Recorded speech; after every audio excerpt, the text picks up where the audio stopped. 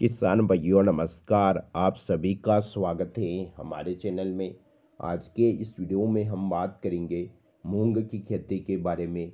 मूंग की खेती साठ से सत्तर दिनों में पककर तैयार हो जाती है और मूंग की खेती करके किसान भाई लोग अधिक से अधिक मुनाफा कमाते हैं।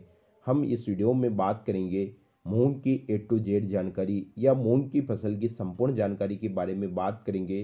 बुआई से लेकर कटाई तक आपको कौन कौन सी बातों का ध्यान रखना चाहिए? इस वीडियो में आपको मूंग की खेत की तैयारी कैसे करना है? मूंग की उन्नत किस्में मूंग की बीज दर मूंग की बुआई करने का तरीका मूंग की बुआई का समय मूंग की बुआई के समय खाद मूंग में सिंचाई प्रबंधन मूंग में लगने वाले रो, रोगों और कीट मूंग का उत्पादन। इन सभी टॉपिक के ऊपर हम इस वीडियो में बात करेंगे।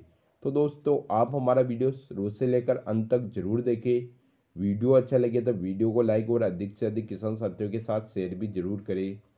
दोस्तों, हम बात करते हैं मूंग की फ़सल के बारे में। दोस्तों, मूंग की फ़सल बारिश के मौसम में और गर्मी के मौसम, यानी दोनों मौसम में मूंग की खेती की जाती है और मूंग की खेती करके किसान भाई लोग अधिक से अधिक मुनाफा कमाते हैं, क्योंकि इसका मार्केट भाव बहुत ही अच्छा देखने को मिलता है। अगर हम मूंग की खेती की पहले टॉपिक की बात करें तो हमारा आता है खेत की तैयारी। दोस्तों, जब आप मूंग की खेती कर रहे हैं तो आपको उसमें खेत की अच्छी तरह से हक्का जुताई करना चाहिए। दो से तीन बार गहरी जुताई करना चाहिए। उसके बाद आपको उसमें कुल्ली पटा करके आपको उसमें डोलियाँ बनाकर उसमें मूंग की खेती करना है। दूसरा बिंदु आता है बुआई या उन्नत किस्में। दोस्तों, आप जब भी मूंग की बुआई करते हैं तो आपको उन्नत हाइब्रिड किस्मों का चयन करना चाहिए, क्योंकि उन्नत हाइब्रिड किस्में ही आपको अधिक उत्पादन देती हैं। अन्य आप पिछली साल की लगाई हुई मूंग की खेती करते हैं, बीज का चयन करते हैं तो आप उसका उचित उत्पादन नहीं ले सकते हैं। तो आपके मिट्टी के हिसाब से, आपके आपके एरिया के हिसाब से प्रचलित वेराइटी का ही आप चयन करके बुआई कर सकते हैं। तीसरा बिंदु आता है बीज दर दोस्तों, मूंग की बीज दर ज़्यादा आवश्यकता नहीं होती है, लेकिन बीज दर की बात करें तो आठ से दस किलो प्रति एकड़ बीज दर की आवश्यकता होती है।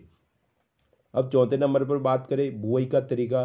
दोस्तों, अगर आप मूंग की खेती कर रहे हैं तो मूंग की बुआई आप हाथों से छिड़क छिड़क कर ही मूंग की बुआई करें तो आपको अच्छा फ़ायदा देखने को मिलेगा।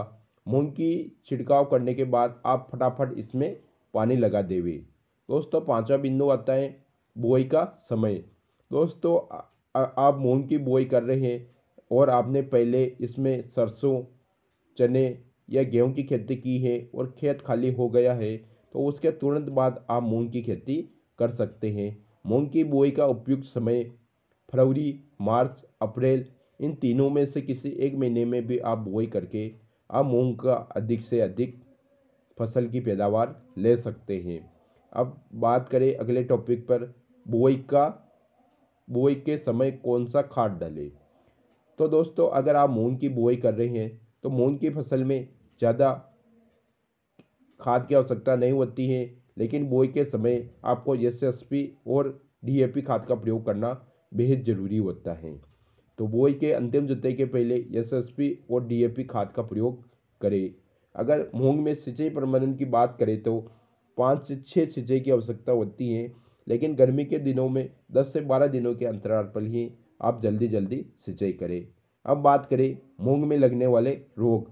तो मूंग में अनेक प्रकार के रोग लगते हैं, जिनमें थ्रिप्स, इल्ली, पीला मोजक वायरस और फंगस का अटैक भी देखने को मिलता है। तो इन सभी के नियंत्रण के लिए आप समय समय पर इसमें कीटनाशक और फफूंदी नाशक का स्प्रे करते रहे तो आपको रोगों से छुटकारा मिल जाएगा।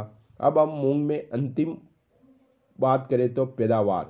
दोस्तों, मूंग की पैदावार आपको एक एकड़ में सात से आठ क्विंटल देखने को मिलती है और मार्केट में इसका एयरवेज ज़्यादा होने के कारण आपको अच्छा पैसों की आमदनी भी हो जाती है और मूंग की फ़सल साठ से सत्तर दिन में पककर तैयार हो जाती है, जो कि आपको कम समय में अच्छा पैदावार और मुनाफा देने वाली फ़सल है। तो दोस्तों, आज के वीडियो में इतना ही। जानकारी अच्छी लगी हो तो हमारे वीडियो को लाइक और चैनल को सब्सक्राइब ज़रूर करें। धन्यवाद। जय जवान। जय किसान।